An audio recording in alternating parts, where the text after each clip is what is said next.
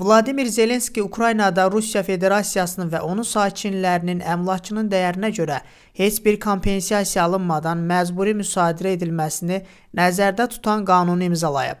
As-Sabah.com xəbər verir ki, bu barədə Ukrayna Ali Radasının mətbuat xidməti məlumat yayıb.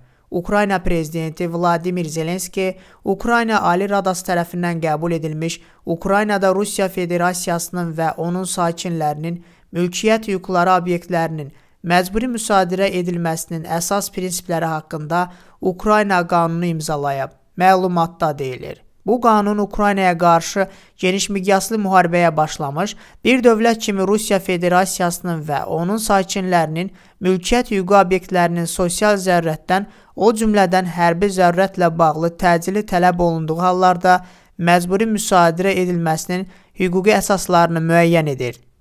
Qanuna görə Ukraynada Rusiyanın və onun rezidentlərinin mülkiyyət hüquqları obyektlərinin məcburi müsadirə edilməsi Rusiya Federasiyasının başlatdığı və davam edən geniş miqyaslı təcavüzkar müharibəni nəzərə alaraq onların dəyərinin heç bir əvəzi ödənilmədən həyata keçirilir.